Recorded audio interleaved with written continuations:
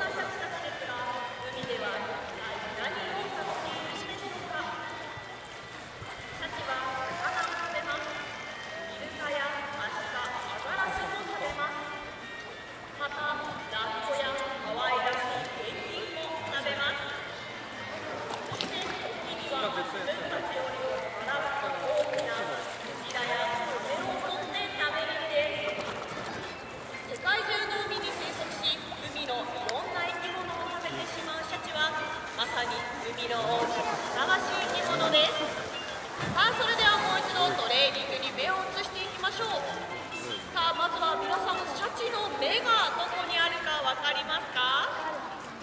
シャチの目は白い丸い模様の少し前にあります。今トレーナーが指をさしている部分にあるんですよ。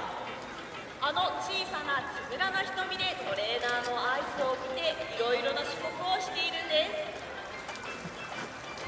続いて、お母さんのステラにご注目ください。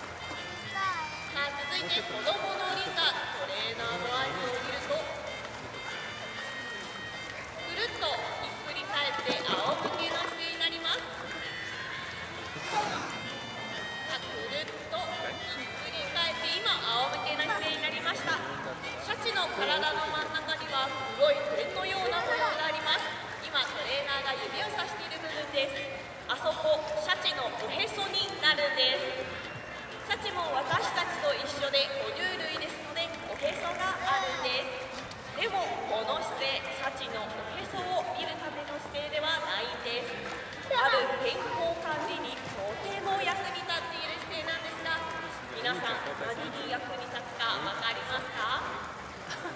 ではその様子を大型画面にお願いします実はあの姿勢でシャチも体温を測るんですシャチの体温は立っているトレーナーが差し出している細いセンサーをシャチの肛門になんと50センチも入れて測るんですシャチの体温は35度から36度くらいと私たち人間とそんなに変わらないんです さあ続いてテイラーが先ほどリンが見せてくれた仰向けの姿勢にもう一度なっていますね。実はあの仰向けの姿勢でシャチの血を取ることができるんです。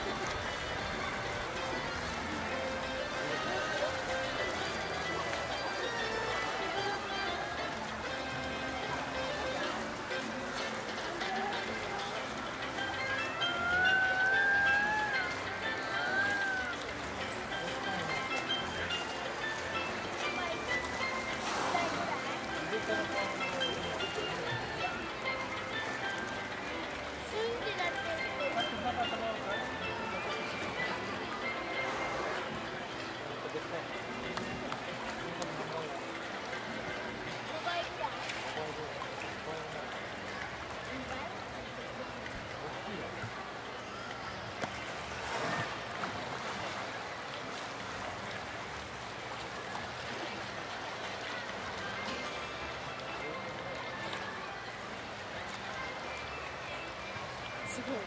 最後の方こっちは行こうから。すごかっためっちゃ見えた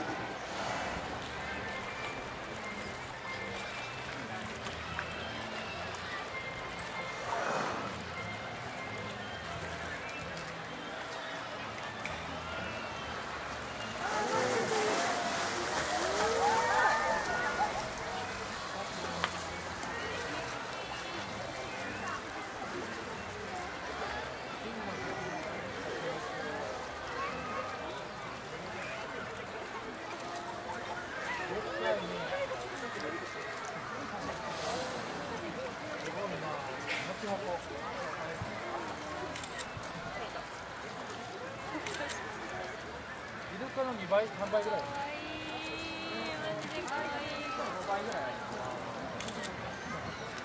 これからこうって。